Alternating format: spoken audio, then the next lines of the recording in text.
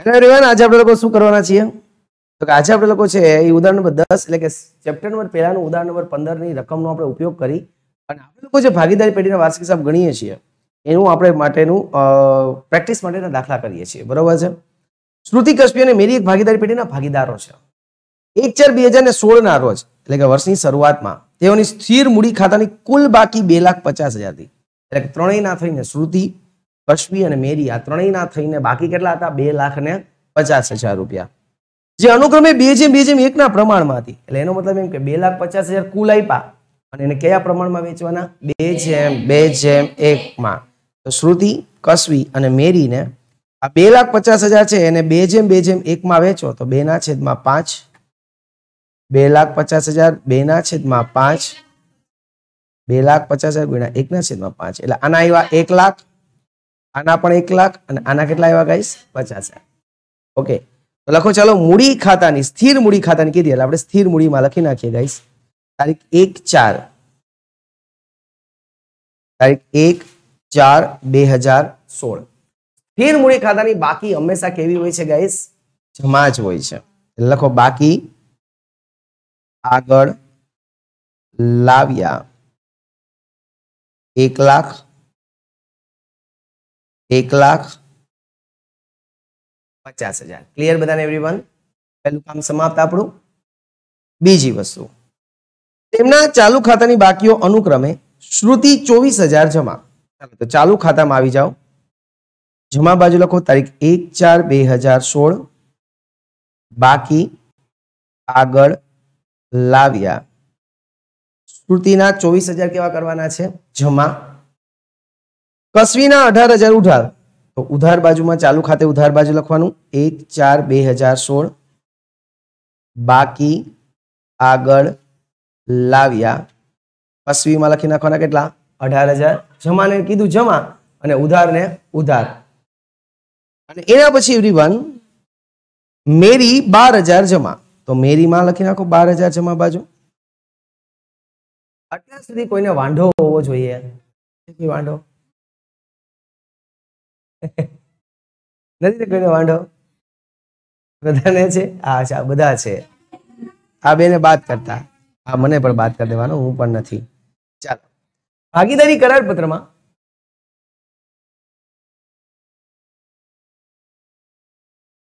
ચાલો, હવે જોઈ છીએ. થઈ ગયું, મુનિ? એના પછી જોઈએ, ભાગીદારી કરાર પત્રમાં આ પ્રમાણે જોગવાઈ છે. જોગવાઈ એટલે કે શરતો છે. કઈ શરતો છે એ જુઓ. કે નફાનો ત્રણ ચતુર્થ, ત્રણ પંચમાંશ જે ભાગ છે એ ત્રણ જેમ બે ના પ્રમાણમાં અને બાકીનો ભાગ છે શરૂઆતની મૂડીના પ્રમાણમાં વેચવો. અગાઉ આપણે દાખલા ગણ્યો હતો કે નફો છે એ મૂડીના પ્રમાણમાં વેચવો, એ આપણે અગાઉ કર્યો હતો. ખબર છે? યાદ છે? ઘરે જઈને જોવે તો ખબર પડે. મૂડી પર દસ ટકા વ્યાજ આપવાનું છે. ચાલો, પેલા આ હવાલો કરી લઈએ. હજી છોડી દઈએ. શરૂઆતની બાકી પર પેલા આખી રકમ વાંચી લઈએ. આઠ ટકા વ્યાજ ગણવાનું છે. કસવીને માસિક પાંચસો પગાર આપવાનો છે. અને ભાગીદારો પાસેથી ઉપાડ પર વાર્ષિક બાર ટકા વ્યાજ વસૂલ કરવાનું છે. આવી શરત છે આની અંદર. બરોબર છે? શ્રુતિએ એક બે બે હજાર ને સત્તરના રોજ અઢાર હજારનો, કસવીએ ત્રીસ અગિયાર, બે હજાર સોળના રોજ બાર હજારનો અને મેરીએ એક દસ, બે હજાર ને સોળના રોજ વીસ હજારનો ઉપાડ્યા હતા. ઉપાડ છે.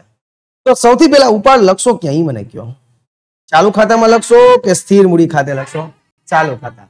જ્યારે સ્થિર ને ચાલુ ખાતા બંને હોય, ત્યારે આપણે ક્યાં ખાતામાં લખવાના? ચાલુ ખાતામાં. કઈ બાજુ? ઉધાર બાજુ. તારીખ સેટ કરજો. પેલા કઈ તારીખ આવશે? એક, બે આવશે? ત્રીસ, અગિયાર આવશે કે એક, દસ આવશે? પેલા આવશે એક, દસ, બે હજાર સોળ. તો લખો એક, દસ, બે હજાર સોળ. ઉપાડ ખાતે. એક દસે કોનો ઉપાડ કર્યો હતો મેરીએ. અને કેટલાનો? વીસ હજારનો.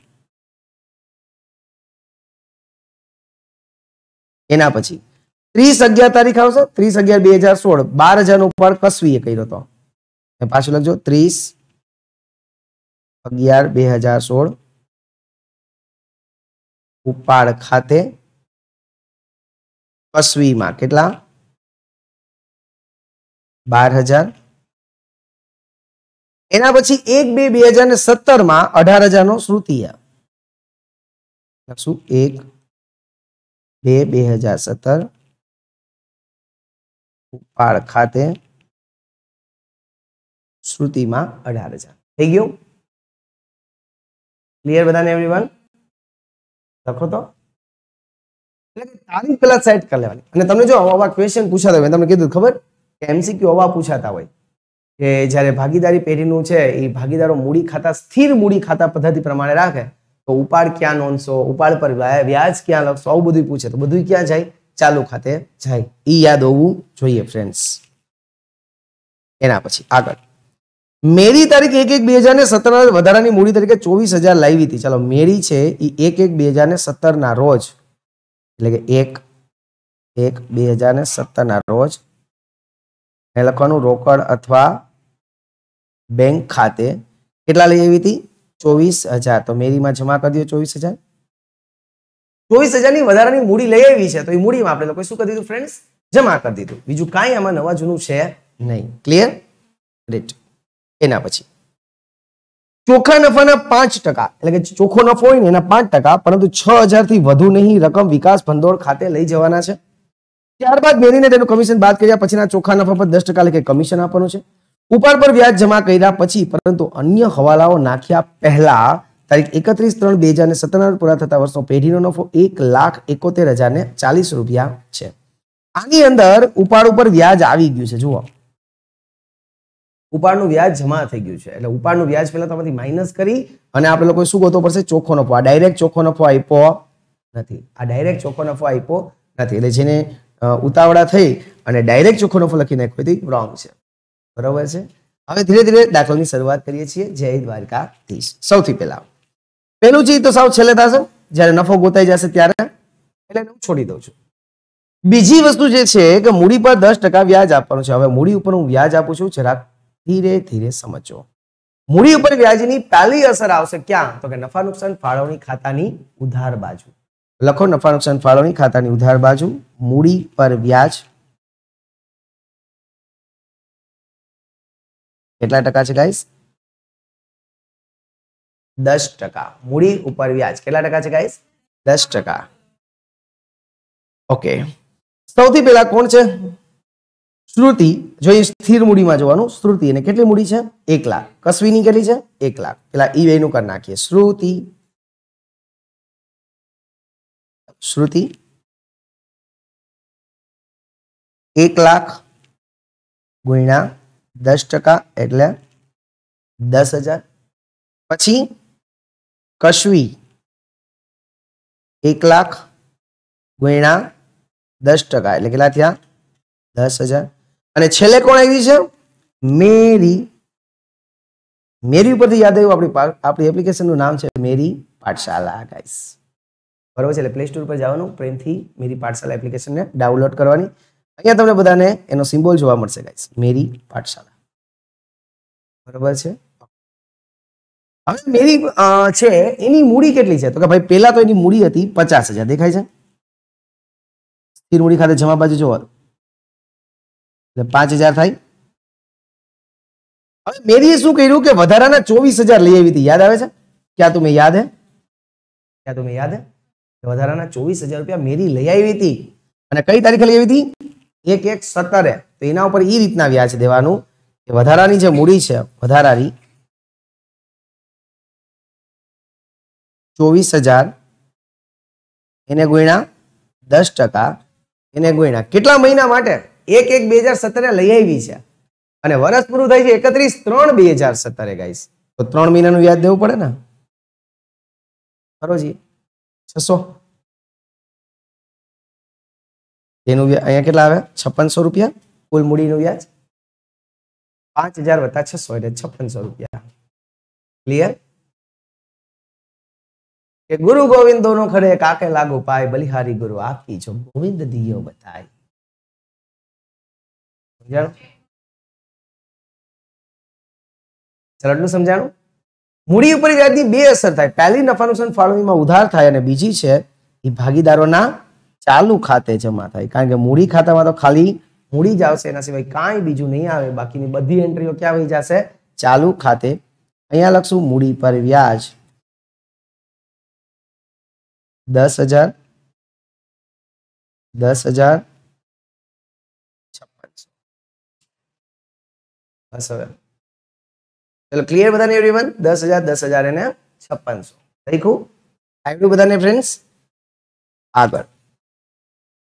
ચાલુ ખાતાની શરૂઆતની બાકી પર વાર્ષિક આઠ ટકા વ્યાજ ગણવાનું છે ગાઈઝ શરૂઆતની બાકી ઉપર વ્યાજ. યાદ આવે છે તમે એવરીવન યાદ છે તમને? જય દ્વારકાધીશ. એકત્રીસ ત્રણ બે હજાર સત્તર. ચાલુ ખાતાની બાકીનું વ્યાજ, જો અહીંયા જમા છે ને શ્રુતિનું, તો એનું વ્યાજ પણ અહીંયા શું થશે? જમા જ થશે. તો અહીંયા લખી નાખું. ચાલુ ખાતાની બાકીનું વ્યાજ. કેટલા ટકા છે? આઠ ટકા. કરો જોઈએ ચોવીસ હજાર આઠ ટકા. ચૌદ. અને અહીંયા અહીંયા પણ આનું જમા છે ને? મેરીનું. ચાલુ ખાતું જો જમા છે. તો બાર હજાર ના આઠ ટકા. સમજાણું? તમને પૂછે કે ચાલુ ખાતાની જમા બાકીનું વ્યાજ ક્યાં લખશો? તો કે ચાલુ ખાતે જમા બાજુ. ચાલુ ખાતે જમા બાજુ હોય તો એની વિરુદ્ધ એન્ટ્રી ક્યાં જાય? નફા, નુકસાન, ફાળવણી ખાતે ઉધાર બાજુ. બરોબર છે? અહીંયા લખશું, ચાલુ ખાતાની બાકીનું વ્યાજ. ચાલુ ખાતાની બાકીનું વ્યાજ શ્રુતિ કેટલી હતી? ચોવીસ હજાર ગુણ્યા આઠ ટકા. ઓગણીસ વીસ ના? કોણ છે છેલ્લી? મેરી. બાર હજાર ગુણ્યા આઠ ટકા એટલે નવસો ને સાઠ. આટલું પહેલા પૂરું થયું એવરીવન હવે જુઓ કઈ થઈ છે એવું કે અહીંયા જુઓ કસવીના અહીંયા ઉધાર છે ચાલુ ખાતું, દેખાય છે? તો એનું વ્યાજ, તો કે ચાલુ ખાતે ઉધાર કરી દેવું પડશે. તો અહીંયા લખશું એકત્રીસ ત્રણ બે હજાર સત્તર. ચાલુ ખાતાની બાકીનું વ્યાજ. અઢાર હજાર આઠ ટકા કરો. ચૌદસો ચાલીસ. ઉધારનું એના ચાલુ ખાતે ઉધાર ને જમાનું એનું ચાલુ ખાતે જમા અને એની પછી શું દેવાની? વિરુદ્ધ એન્ટ્રી દેવાની થાય. તો અહીંયા આપણે ઉધાર કર્યું છે ચાલુ ખાતે. તો નફા નુકસાન ફાળવણી ખાતે શું દેવાનું? જમા. તો જમા બાજુ લખો, બે ત્રણ લાઈન છોડીને. ચાલુ ખાતાની બાકીનું વ્યાજ કસવી ના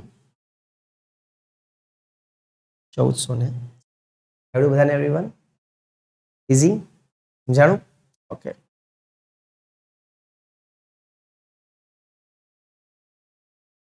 ઘરે જઈને ચોપડી ખોલવાની ટેવ રાખજો.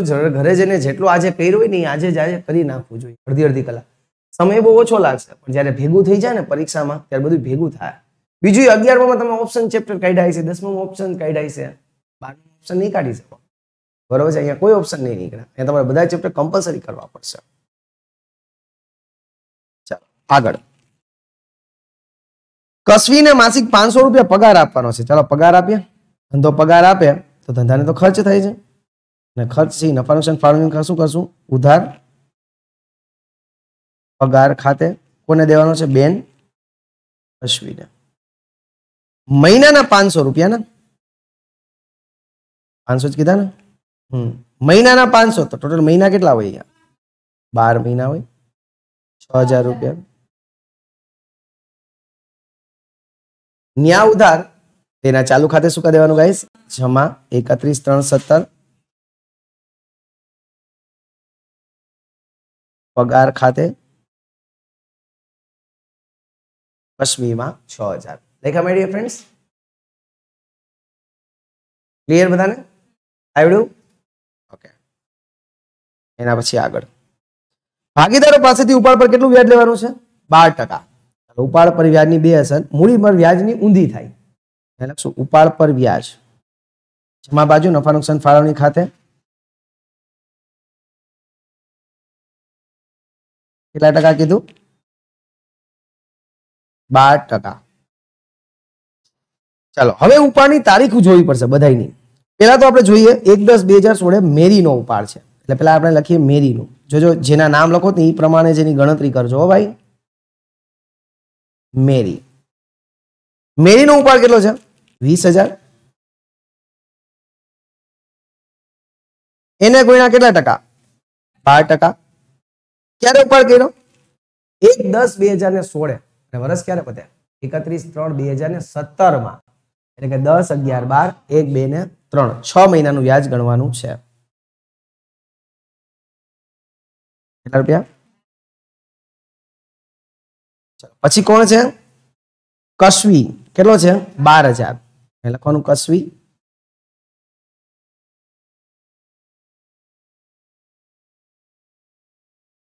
બાર હજાર ગુણ્યા બાર ટકા.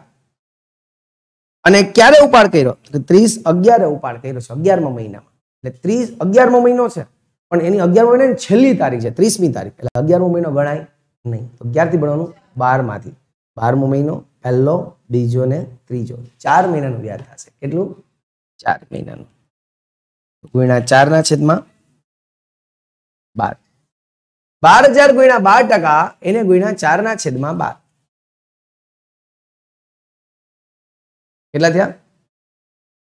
ચારસો? કોનો કોલ આવે છે? કોલ આવે છે કોઈ? કોણ હતું? એના પછી? હવે જો તો જરાક નામ ખાલી જો ને જલ્દી જોને અહીંથી ને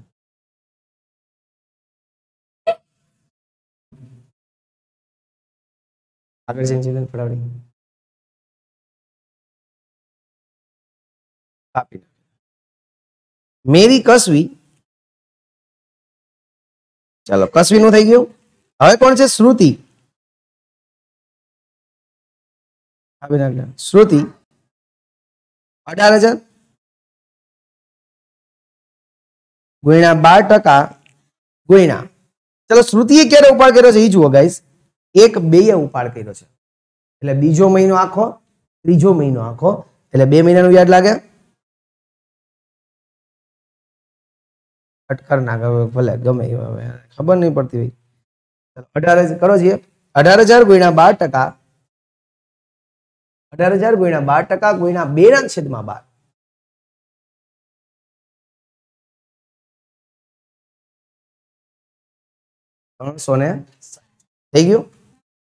જમા કર્યું છે. શું કરી દેવાનું ઉધાર. તારીખ લખો એકત્રીસ ત્રણ. બે હજાર સત્તર. ઉપાડ પર વ્યાજ. ચાલો. કેટલા આવ્યા હતા? મેરીમાં બારસો. જો યાદ રાખજો, જેના હોય એમાં લખજો. મેરીમાં બારસો, પસવીમાં ચારસો એસી.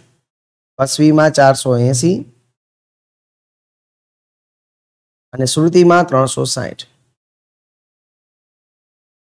આ રીતના લખવાનું. બરોબર છે? ત્રણસો સાહીઠ ચારસો એસી અને બારસો. ક્લિયર એના પછી. આગળ. ચાલો મેરી એ તારીખ એક એક બે હજાર સત્તર ના રોજ વધારાની મૂડી તરીકે ચોવીસ હજાર લાવી હતી બધું થઈ ગયું. લાભ લાભ લાભ લાભ ચોખ્ખા નફાના પાંચ ટકા, પરંતુ છ હજારથી વધુ નહીં, રકમ ક્યાં લઈ જવાની છે વિકાસ ભંડોળ ખાતે લઈ જવાની હવે નફો જુઓ, આપણે પેલા તો ચોખ્ખો નફો લખી લઈએ, એટલે આપણને આઈડિયા આવી જાય.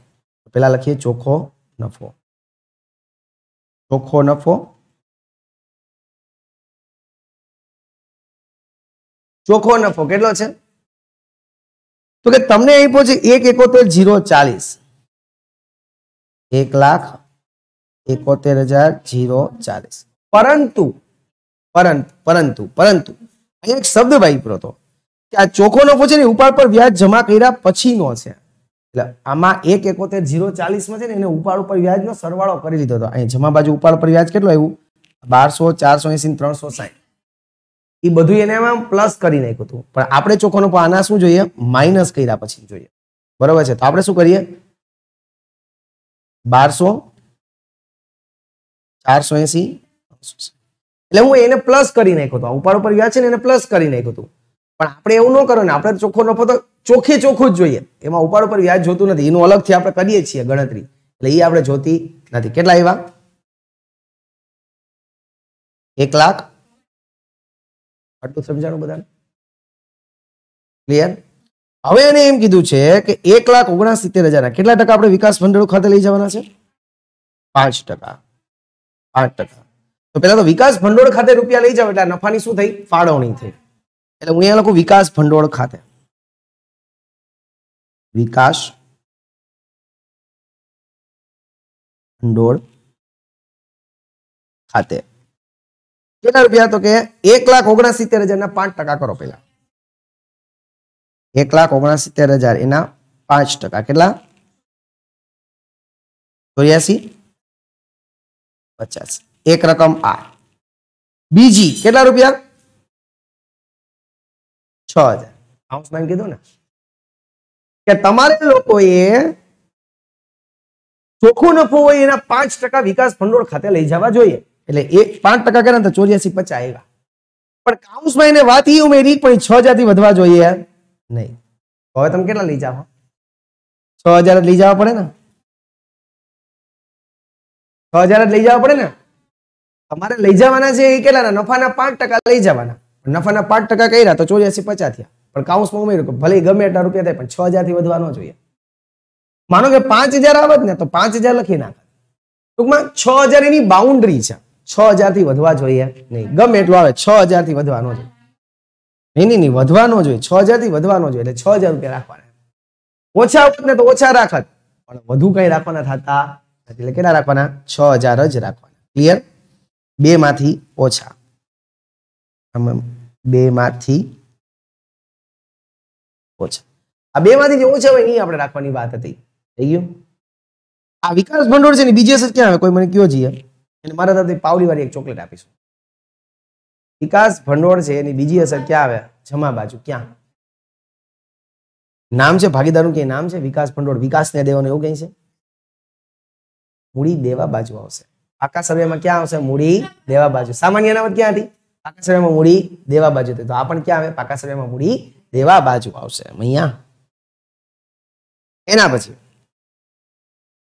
ત્યારબાદ મેરીને તેનું કમિશન બાદ કર્યા પછીના ચોખ્ખા નફા પર કમિશન દેવાનું છે. કેટલા ટકા? દસ ટકા. યાદ આવે છે? આ ટોપિક થઈ ગયો તો મેરીને કમિશન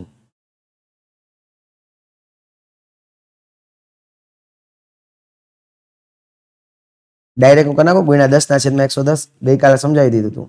ગઈના, ગઈકાલના લેક્ચરમાં રવિવારના લેક્ચરમાં ગુણ્યા દસ ના છેદમાં એકસો ને દસ ડાયરેક્ટ મૂકી દીધા. બરોબર? બાદ કર્યા પછી કે એટલે ઉપર એનો દર મૂકવાનો છેદમાં સો વત્તા દર મૂકવાનું. ઓકે એના પછી ખતમ. ખાધું પીધું ને મોજ કર્યું. કોઈ પૂછે કે ક્યાં ગયા તો? તમારે બધા પ્રેમથી કહેવાનું કે દ્વારકા ગયા હતા અમે લોકો. ટોટલ કરો. ઓફ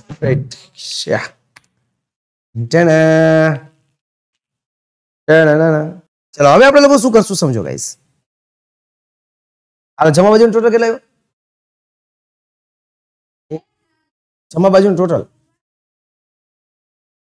બહુ એક લાખ ઓગણસિત્તેર હજાર પ્લસ છસો ચાલીસ પ્લસ બારસો પ્લસ ચારસો એસી પ્લસ ત્રણસો એક લાખ બોતેર હજાર ચારસો ને એસી. જમા બાજુ ટોટલ લખો. એક લાખ બોતેર હજાર ચારસો એસી. નફા નુકસાન ફાળવણી ખાતાની જમા બાજુ ટોટલ લખો. એક લાખ બોતેર હજાર ચારસો ને એસી રૂપિયા. લખા ઈ ટોટલ પાછા અહીંયા લખી નાખો. એક લાખ બોતેર હજાર ચારસો ને એસી. ઉધાર બાજુમાં લખી નાખો. લખા ફ્રેન્ડ્સ હવે તમારે લોકોએ સિમ્પલી શું કરવાનું છે કે એક બોતેર ચારસો એસી માંથી આ બધું માઇનસ કરવાનું છે. દસ હજાર માઇનસ કરો, દસ હજાર માઇનસ કરો. દસ હજાર, પછી પાછા દસ હજાર માઇનસ કરો. છપ્પનસો માઇનસ કરો, ઓગણીસ વીસ માઇનસ કરો, નવસો સાહીઠ માઇનસ કરો. છ હજાર માઇનસ કરો. ઓર શેટિયાર કેટલા આવ્યા? એક બોતેર ચારસો એસી માંથી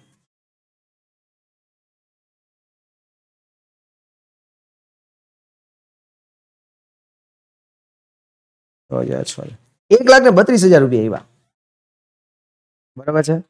તો તમારે લોકોએ શું કરવાનું છે કે એક લાખ બત્રીસ આપણે કમી, મેરીને કમિશન લખ્યું હતું ને, મેરીને કમિશન. એની નીચે આપણે ગુણ્યા દસ ના છેદમાં એકસો દસ લખ્યા હતા ને, એની બાજુમાં લખી નાખો એક લાખ બત્રીસ હજાર. એક લાખ બત્રીસ હજાર ગુણ્યા દસ ના છેદમાં એકસો દસ. એટલે બાર કેટલા આવ્યા બાર હજાર રૂપિયા આવ્યા બાર કાઢી નાખો બાર હજાર. મેરીને કમિશન બાર હજાર દેવાનું છે અહીંયા ઉધાર કર્યું. તો મેરીના ચાલુ ખાતે શું દેવાનું? જમા લખો તારીખ એકત્રીસ ત્રણ બે હજાર સત્તર. કમિશન ખાતે મેરીમાં લખજો કેટલા? બાર. મેરી છેલ્લે છે ને? સમજાણો એટલું એટલે હવે તમારે નફો કેટલો આવ્યો? વેચણી પાત્ર નફો.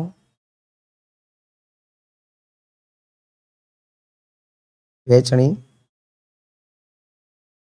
પાત્ર. તો બધા લોકો શું કરશે પેલા પાછા એક બોતેરમાંથી પાછું બધું માઇનસ કરવા જાય. પણ એમ ન કરાય. આપણે એક બત્રીસ તો ગોતી લીધા હતા, છ હજાર સુધી માઇનસ કરીને. તો એક બત્રીસમાંથી પાછા બાર હજાર માઇનસ કરી એટલે એક લાખ વીસ હજાર આવી ગયા. વેચણી પાત્ર નફો કેટલો આવ્યો એક લાખ ને વીસ હજાર રૂપિયા. હવે આ નફાની વેચણી કઈ રીતના કરવાની છે એનું હું તમને દેખાડીશ. વર્કિંગ નોટ લખો વર્કિંગ નોટ નંબર વન નફાની વહેંચણી. વર્કિંગ નોટ નંબર વન નફાની વહેંચણી. નફો છે આપણો ટોટલ કેટલો? એક લાખ ને બત્રીસ હજાર રૂપિયા? નીચે લખો ટોટલ નફો એક લાખ બત્રીસ હજાર. સોરી એક લાખ વીસ હજાર. હવે એમાં બે ભાગ કરો. એક ભાગમાં એને શું કીધું કે નફાનો ત્રણ પંચમાંશ ભાગ. એટલે કરો જે એક લાખ વીસ હજાર ગુણ્યા ત્રણ ભાંગા પાંચ, એટલે બોતેર હજાર રૂપિયા થયા. એક ભાગમાં લખો બોતેર હજાર રૂપિયા. અને બીજા ભાગમાં એક લાખ વીસ હજાર માઇનસ બોતેર હજાર. ત્રણ પંચમાંશ બોતેર હજાર ગયા. તો બચ્યા કેટલા? અડતાલીસ હજાર. હા.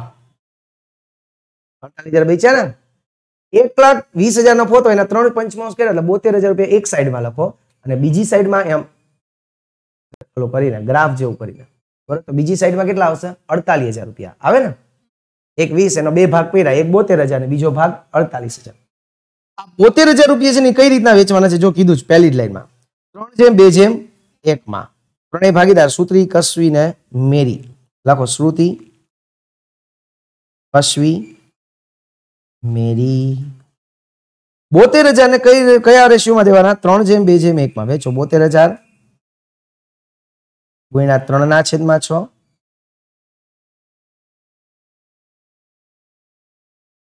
બોતેર હજાર ગુણ્યા એક ના છેદમાં છ.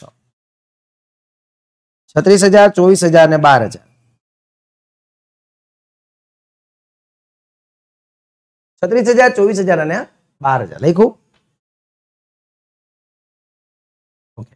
હવે સામેના જે અડતાલીસ હજાર છે એ કયા પ્રમાણમાં દેવાના છે? મૂડીના પ્રમાણમાં. કીધું ને?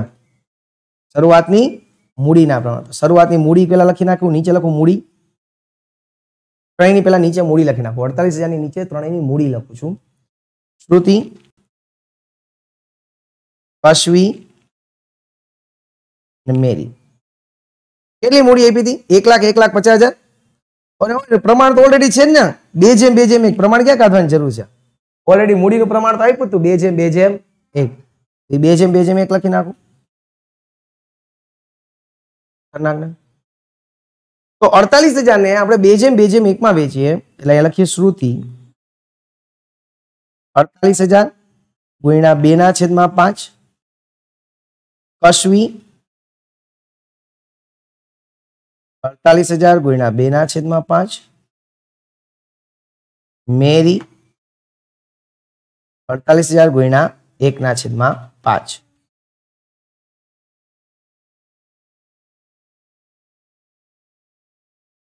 અહીંયા નવ છસો અહીંયા? અહીંયા પણ ઓગણીસ બસો ક્લિયર બધાને એવરીવન હવે આપણે એનો સરવાળો કરી નાખીએ. શ્રુતિ.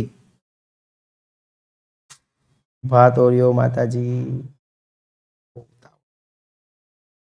શ્રુતિ.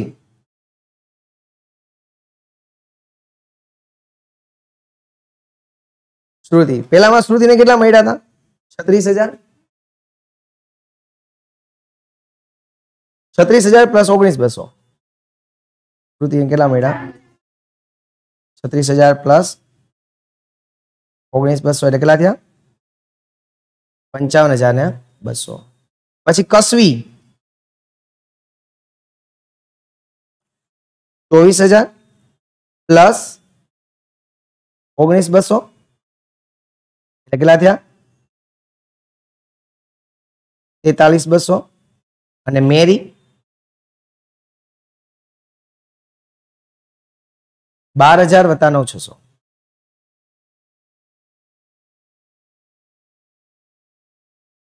એકવીસ.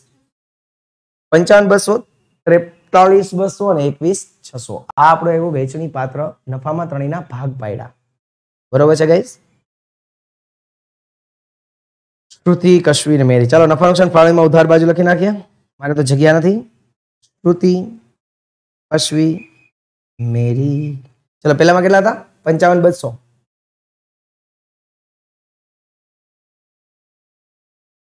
ને એકવીસ.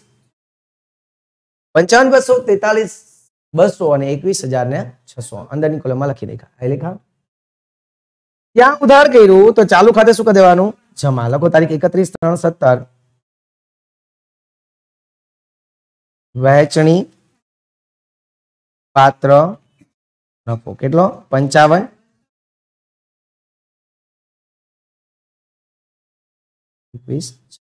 ક્લિયર બધાને એવરીવન આટલું? ચાલો, હવે શું કરવાનું? ચાલુ ખાતાનો ટોટલ કરવાનો. ચાલો જમા બાજુનો ટોટલ કરો.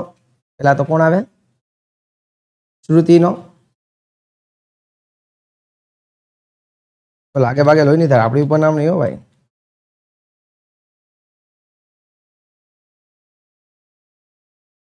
વીસ હજાર પ્લસ દસ હજાર પ્લસ ઓગણીસ, વીસ. પ્લસ પંચાવન, બસો. એટલે એકાણું એકસો વીસ. એકાણું એકસો વીસ અહીંયા મૂકું. એમાંથી ઉધાર બાજુ માઇનસ કરે. બધાનો ન કરાય. પેલા ને આમાંથી માઇનસ કરાય. સમય ઓછો બરગલે અઢાર હજાર માઇનસ ત્રણસો સાહીઠ એટલું જતું ને? બોતેર સાતસો ને સાહીઠ રૂપિયા. એકત્રીસ, ત્રણ, સત્તર. અહીંયા શું લખાય? બાકી, આગળ, લઈ, ગયા. એના પછી બીજું. કસવીનો દસ ને છ સોળ. સોળ હજાર પ્લસ તેતાલીસ બસો, ઓગણસાઠ બસો.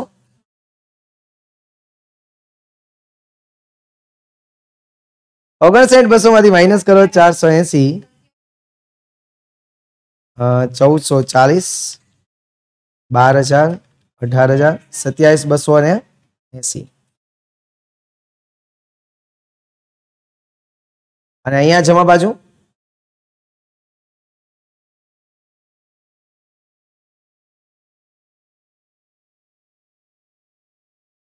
બાર હજાર પ્લસ પાંચ છસો પ્લસ નવસો સાઠ પ્લસ બાર હજાર પ્લસ એકવીસ છસો બાવન એકસો સાઠ બાવન એકસો સાઠ એમાંથી બધું માઇનસ કરો, બાવન એકસો સાઠમાંથી માઇનસ વીસ હજાર માઇનસ બારસો, ત્રીસ નવસો સાઠ. ચાલો, આની બીજી એન્ટ્રી ક્યાં દેવો? મને કયો છીએ આખર બાકી મૂડી દેવા બાજુ લખશો જે લોકો પહેલેથી વ્યવસ્થિત રાજ્ય રહેશે બધું વસ્તુનો આન્સર આવડશે. થઈ ગયું એટલું? હાલો મૂડી ખાતા ટોટલ કરો. એમાં તો કાંઈ નથી. એક પેટી એક પેટી, અડધી પેટી. એક લાખ એક લાખ ચિમોતેર હજાર. ચિમોતેર હજાર. બાકી આગળ લઈ ગયા. એક લાખ એક લાખ ચિમોતેર હજાર, તારીખ એકત્રીસ ત્રણ બે હજાર ને ક્લિયર બધાને એવરીવન દાખલો બહુ મોટો હતો લેન્ધી હતો, પણ હવા દાખલા આવડી જાય ને આના પછીનો વાર્ષિક હિસાબ છે ને, બધાને રમકડા જેવું લાગે ગાઈસ બરોબર છે? હવે અઘરા અઘરા દાખલા કરીએ ને, બહુ મજા આવે, જ્યાં હે ને, ગરમીમાં પરસેવા છૂટી જવા જોઈએ. બરોબર છે? આઈ હોપ શું કે તમને લોકોના દાખલા મજા આવી you have enjoy this sum very well તો મળીએ છીએ નેક્સ્ટ રિલેક્શનમાં ત્યાં સુધી રજા ગાઈસ જય હિન્દ, જય ભારત. જય દ્વારકાધીશ.